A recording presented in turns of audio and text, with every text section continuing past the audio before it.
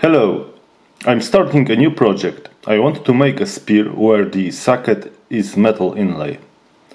In the original archaeological find, silver, copper and copper alloy, probably brass, have been used. There is no problem to buy pure silver and copper, but I couldn't find a brass with zinc content about 10 to 15 percent. The brass alloy with that range of zinc content we call tombak. The color of tombak is gold yellow and imitates gold.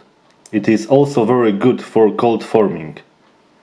What is important in terms of metal inlay?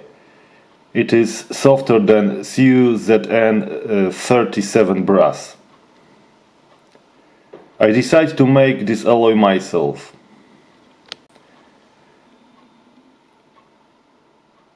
I used CuZn 37 brass and pure copper.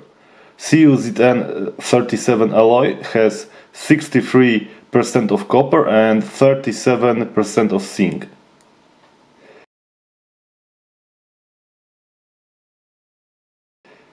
To make tombak with 15% uh, of zinc, I have to decrease the amount of zinc in the alloy. For this I have to add some extra copper.